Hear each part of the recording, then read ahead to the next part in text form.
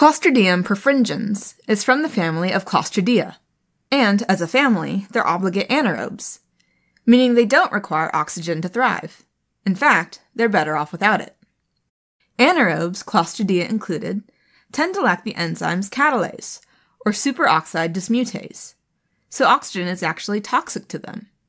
In nature, they thrive in deep, compact soil, and when they feel the stress of fresh, oxygenated air, they often produce spores, which are extremely resilient to the environment and can even survive cooking. When conditions improve, for example, when food is slowly cooled and stored, the spores can sprout into full fledged Clostridia. In fact, at an optimum temperature, Clostridium perfringens has one of the fastest growing rates of any bacterium. In the lab, when doing a gram stain, Clostridium perfringens is gram positive, or purple when gram stained, and look like big cylinders or rods, called bacilli. Clostridium perfringens is a common cause of food poisoning. In fact, it's sometimes called the cafeteria germ. That's because it typically infects food that's been prepared in large quantities and then kept warm for prolonged periods, such as in cafeterias or buffets. Clostridium perfringens are found out in the environment and they can accidentally contaminate food when it's been left out for a while. If a person eats food contaminating with C. perfringens, the bacteria will soon colonize the gut. Within 24 hours, the bacteria starts to make Clostridium perfringens enterotoxin, or CPE. The CPE specifically targets the tight junctions that connect epithelial cells lining the intestines to one another.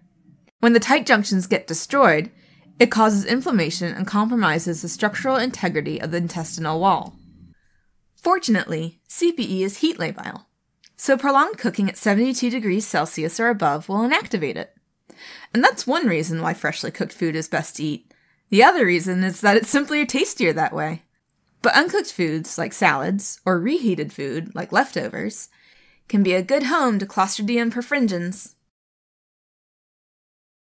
The symptoms of Clostridium perfringens enteritis include abdominal cramping, watery diarrhea, and vomiting. Fortunately, most of these improve over the course of a day, as the bacteria make their way through the intestines. In terms of treatment, antibiotics aren't needed, and instead the goal is to keep the individual well hydrated.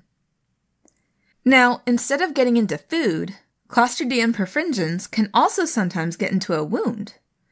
This can happen when wounds are made by dirty, sharp objects that come into contact with soil that's rich with Clostridium perfringens and other anaerobes, like gardening or farming equipment. And if there's a deep wound, it can cause clostridial myonecrosis. That's where another toxin, Clostridium perfringens alpha toxin, or CPAT, causes direct damage to cells, causing them to swell up in lyse, or pop. The result is rapid, massive destruction of muscular and soft tissues, eventually resulting in tissue death or gangrene. Symptoms of myonecrosis are extreme pain and swelling, and sometimes thin, watery pus can leak out of the wound. Occasionally, there's so much tissue damage that blood vessels can break and create blood filled bullae on the skin above gangrenous tissue. A classic sign is crepitus, which is a sound of crackles as you press down around the wound. It feels like gas moving around in the tissue, which is why myonecrosis is sometimes called gas gangrene. The fast moving infection and massive tissue destruction can lead to fever and tachycardia, and can even progress to hypotension, shock, and eventually death within just a few hours.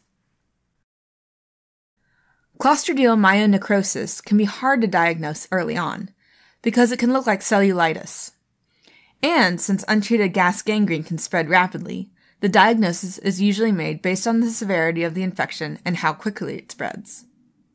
Having said that, the diagnosis can be confirmed with an anaerobic tissue culture, but that usually takes a few days, which is far too long for individuals with gas gangrene. Treatment of clostridial myonecrosis requires prompt and complete surgical excision of the necrotic tissue.